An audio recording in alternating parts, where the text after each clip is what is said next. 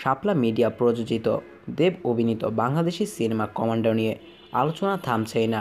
সিনেমাটির ঘোষণা আসার পর থেকেই আলোচনায় এটি। শুরুতে এ সিনেমার নাম মিশন সিক্সটিন থাকলেও পরে পরিবর্তন করে কমান্ডো রাখা হয়েছে। সম্প্রতি দেব এন্টারটেনমেন্ট প্রেঞ্চাস ইউটিউব চ্যানেলে প্রকাশ করা হয়েছিল সিনেমাটির ষাট সেকেন্ডের টিজার তা দেখে সিনেমাটিতে ইসলাম ধর্ম অবমাননার অভিযোগ এনেছিলেন নেটিজেনরা।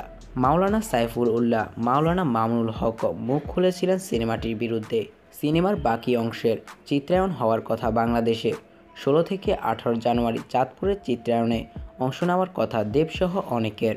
কিন্তু তার আগেই গেল শুক্রবার, আট জানুয়ারি কমান্ডো সিনেমার শুটিং বন্ধের আহ্বান জানিয়েছেন চাঁদপুরের বিভিন্ন মসজিদের ইমাম ও খতিবরা। কমান্ডো বিতর্ক প্রসঙ্গে এর আগে পরিচালক, প্রযোজক এবং নায়িকা মুখ খুলেছিলেন। কথা বলেছিলেন সিনেমাটির পক্ষে। তাদের দাবি সিনেমা ইসলাম ধর্ম অবমাননা করা হয়, এমন কিছু তুলে ধরা হয়নি। যদিও তুমুল বিতর্কের মুখে আন্তর্জাল থেকে সরিয়ে ফেলা হয়েছে টিজারটি। পরিচালক শামীম আহমেদ রনি জানিয়েছেন, নতুন করে টিজার প্রকাশ করা হবে।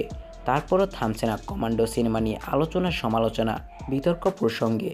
আবার মুখ খুলেছেন শাপলা মিডিয়ার কর্ণধারা ও কমান্ডো সিনেমার প্রযোজক সেলিম খান। প্রযোজনা সংস্থার অফিসিয়াল ফেসবুক পেজে লম্বা স্ট্যাটাস দিয়ে বিষয়টি পরিষ্কার করেছেন তিনি। সেলিম খান লিখেছেন, আমি ঐতিহ্যবাহী মুসলিম পরিবারের সন্তান। ইসলাম প্রচার ও প্রসারে একজন ক্ষুদ্র সেবক হিসেবে নিজেকে নিয়োজিত রেখেছি। এজন্য নিজস্ব অর্থায়নে নিজের এলাকায় নির্মাণ করেছি দুইটি মসজিদ। এছাড়া একাধিক মসজিদ, মাদ্রাসা, মক্তব নির্মাণ ও পরিচালনায় আমি আমার সাধ্যমতো সহায়তা করেছি এবং করছি। ধর্মীয় শিক্ষার উন্নয়নের জন্য আমি আমৃত্যু কাজ করে যাব। কমান্ডো সিনেমার গল্পে ইসলামের নাম ব্যবহার করে জঙ্গিবাদ ও সন্ত্রাসবাদ ছড়ানোর ঘটনা তুলে ধরা হয়েছে বলে উল্লেখ করেছেন সেলিম খান।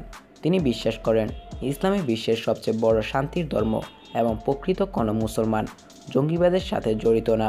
দর্শককে বিভ্রান্ত না হওয়ার আহ্বান জানিয়েছে সেলিম খান। আরও লিখেছেন, ছবি নির্মাণের পর সেন্সর বোর্ডে জমা হবে। ইসলাম বিদ্বেষী কোনো কিছু থাকলে সেন্সর বোর্ড ছাড়পত্র দেবে না। কমান্ডো সিনেমার প্রযোজক হিসেবে আমি বলতে চাই, এ সিনেমা ইসলাম বিদ্বেষী কোনো কিছু নেই এবং থাকার প্রশ্নই আসে না। দয়া করে কেউ বিভ্রান্ত হবেন না। তো বন্ধুরা, ভিডিওটি শেষ পর্যন্ত দেখার জন্য আপনাদের সকলকে অসংখ্য ধন্যবাদ। ভিডিওটি ভালো লাগলে একটি লাইক দিবেন, বন্ধুদের সাথে শেয়ার করবেন। কমেন্ট করে আপনার মূল্যবান মতামত জানাতে ভুলবেন না। তো দেখা হবে পরবর্তী কোনো নতুন ভিডিওতে। সে পর্যন্ত সকলে সুস্থ থাকবেন, ভালো থাকবেন। এবং বিডি টিউব নিউজের সাথেই থাকবেন। আল্লাহ হাফেজ।